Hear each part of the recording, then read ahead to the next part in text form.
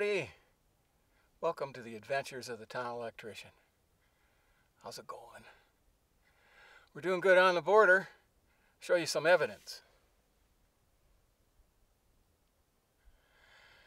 At the end of the day, folks, that's what it's all about, isn't it? Evidence.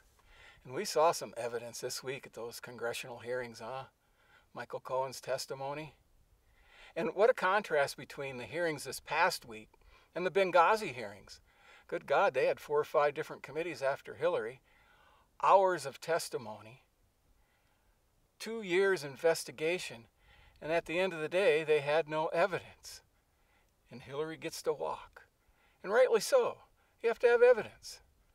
And that's as opposed to even her her own husband. Geez, they had uh, DNA on Monica Lewinsky's dress. Now that's evidence. And now Michael Cohen appears before the congressional committee, lays down the check for $35,000 that Trump wrote while he's president in the Oval Office. A check for illegal hush money payment.